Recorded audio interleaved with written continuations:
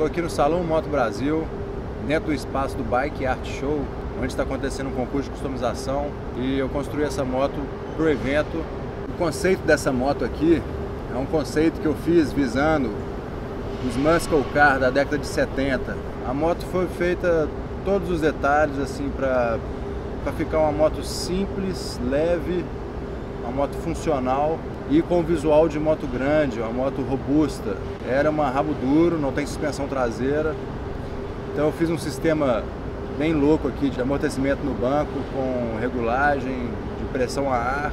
Uma moto que tem o sistema de embreagem interno no guidão, o acelerador mesma coisa, os cabos. O freio é um pedal que eu tenho de freio no pé normal, igual toda moto, só que ele aciona as duas rodas, eu não tenho freio na mão. Tem uma alavanca de marcha para me auxiliar, dependendo da situação que eu estacionar a moto numa subida, que eu não consigo trocar o pé no chão por causa do freio. A mecânica da década de 70, Harley Davidson, um shovel head, é um motor que eu restaurei inteiro. E esse projeto é um projeto que eu idealizo ele já há algum tempo para fazer.